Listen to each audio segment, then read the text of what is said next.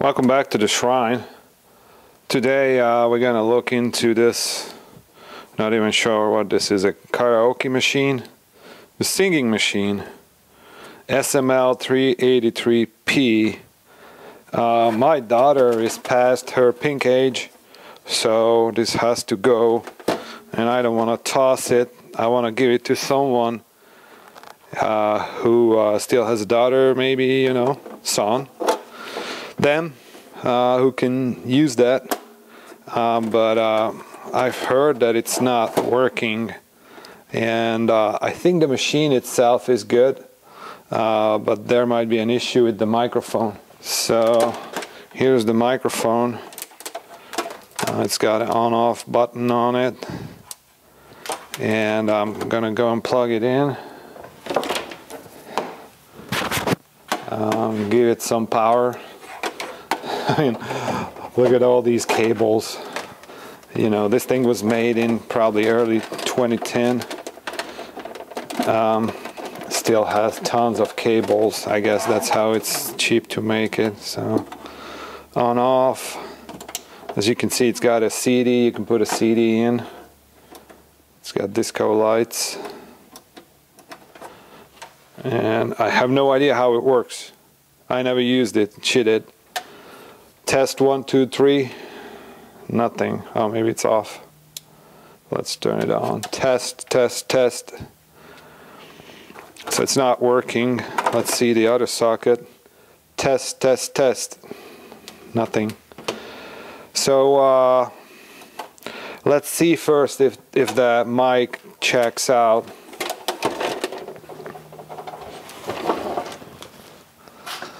We're gonna use the meter and just come in here and just do a continuity test. So you can see that the mic is good. Well, sorry, it's not good. It shows my own resistance because I'm touching both of the leads. um, so the, the mic shows zero mega ohm resistance and it's on.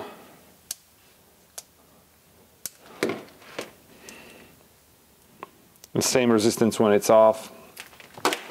So we're going to go inside and see what's wrong with the mic. Oops, that was easy. This thread is not long for its life, so that just uh, twists off and then this collar comes off. And then looks like we have a strain relief here, which is really hard. And then the cable is free to move in the strain relief. And there are two little tabs here. So there's one here, one on that side. So let's try to pry those out. There you go. So this is the condenser microphone. That's how they make them these days. Um, there's some foam insulation inside. And this seems to be a one piece deal. No idea at this point how it comes apart. I'm suspecting there are some bolts and nuts underneath this label here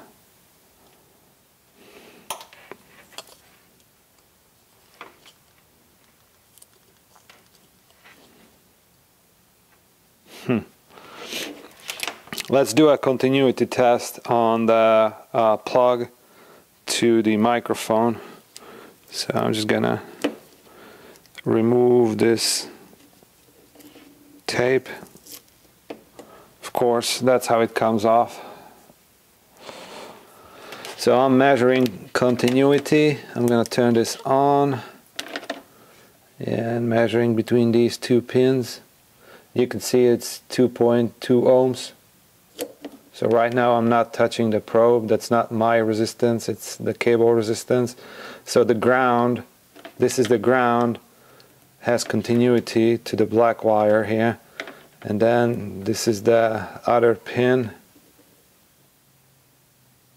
And it doesn't have continuity to this red wire. So something internally is broken. I need to fish out this plug first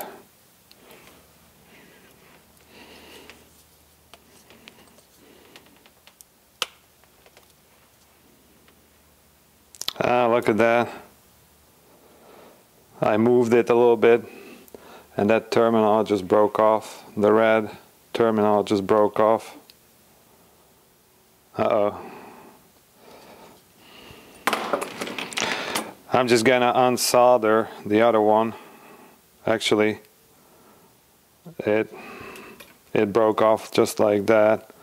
So there was no strain relief here. It looks like this is a small PCB. You can see that's a small PCB and the traces from the PCB broke right off. So the red one is marked with a red pen. I hope I will be able to uh, solder it back on. Still, this uh, this piece here, this plastic piece, drives me crazy. I don't know how to remove that. So let's take this sticker off, see what's underneath.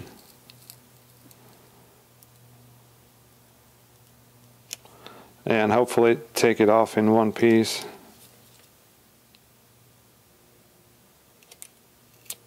There you go. So two bolts holding the switch. I think I got to take them out because otherwise it will not slide out.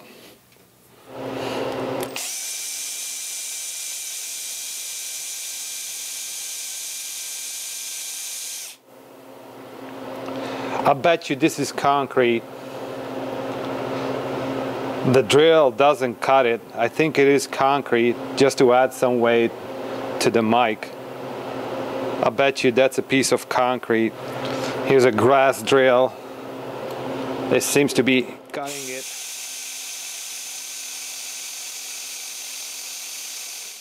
After half an hour close fight, I gotta tell you it's not worth repairing.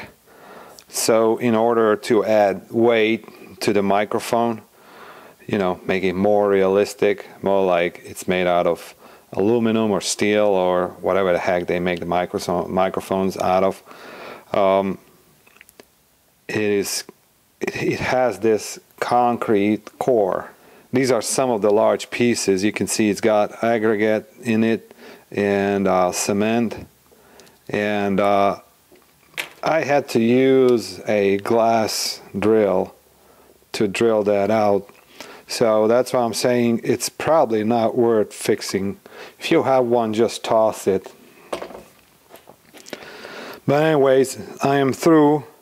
You can see I got most of it out.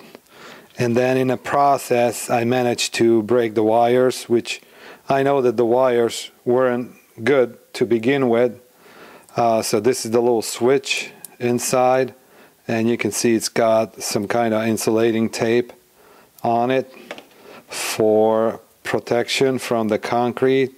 So now I will be able to uh, solder that back in. So that's how it was soldered. And then this is the rest of the wire so there's one solder point here. So this is the central wire that comes out from the cable. The cable is probably shielded, so they use the shielding as a second um, wire. And you can see that central wire is soldered to this red wire. The red wire is soldered to the center terminal of the switch and then the black wire goes out to the microphone.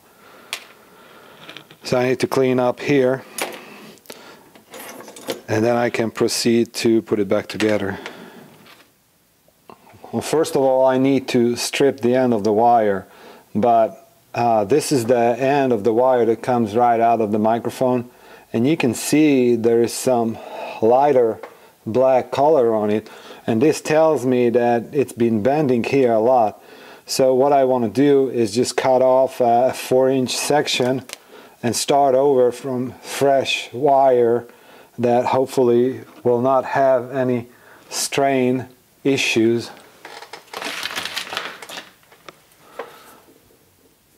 So that's what I'm gonna do. And then strip the outer jacket. But before I do so, I'm gonna put the handle on.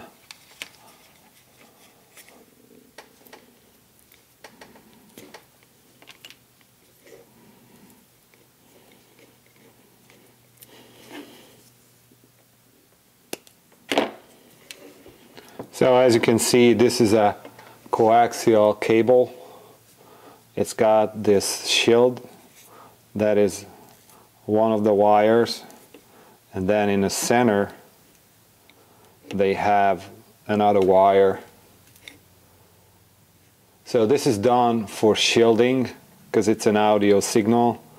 You don't want to hear the neighbor's radio in your audio signal.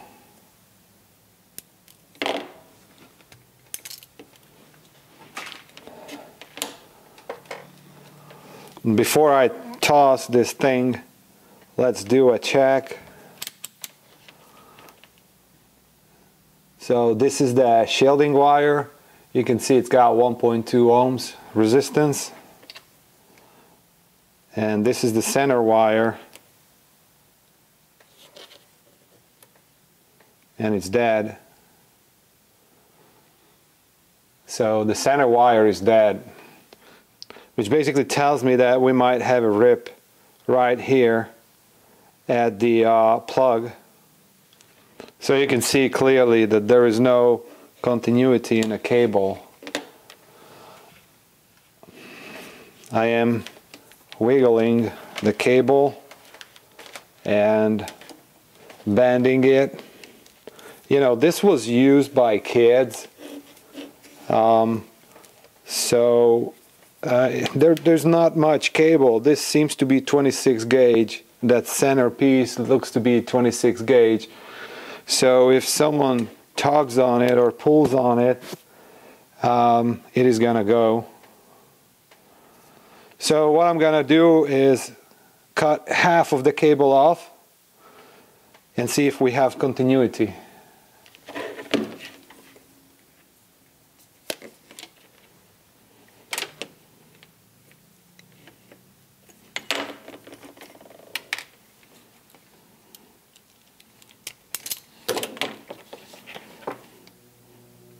So nothing, not a two foot this cut, there's no continuity. So what I'm gonna do, I'm just gonna cut it right there. I think, you know, plugging this in and out one too many times will screw up this, uh, this plug. So this is the last piece of the cable, probably uh, two feet long. You can see the cable is nice and conducting so the problem most likely was in the plug. The handle is moving separately from the connectors.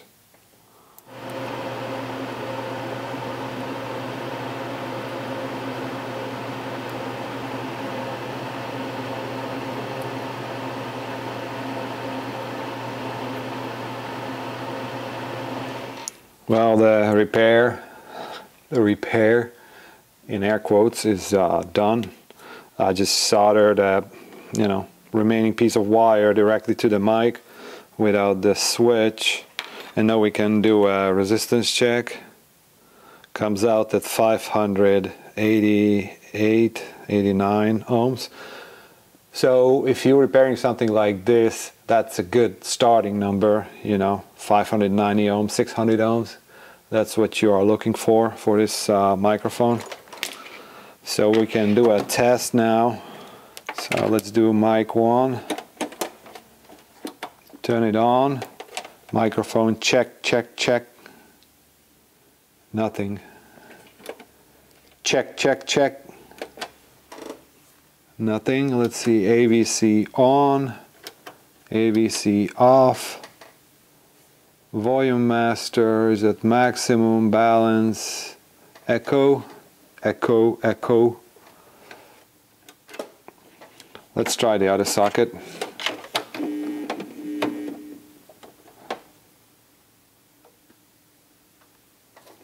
Check, check, check. Check, check, check.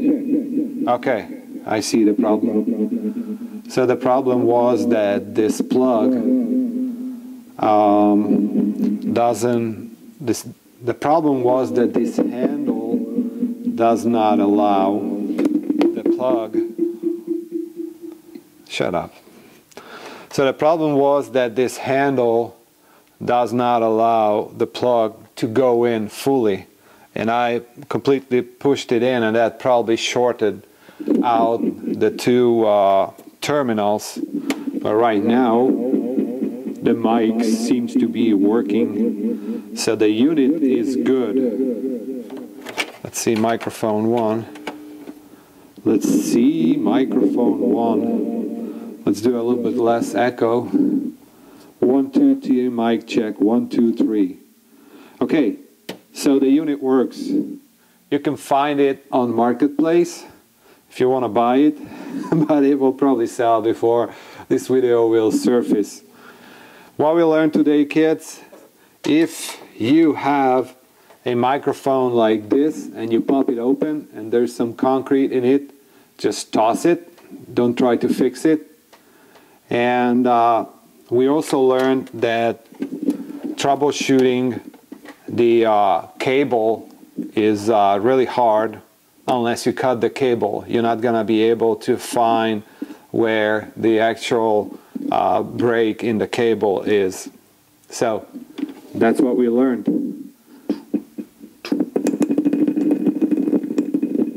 I just can't stop playing with this thing. Well, if you watched it this far and didn't get asleep from my soothing voice, I hope to see you on the next one. Please don't forget to subscribe if you haven't done so. Thank you. Bye.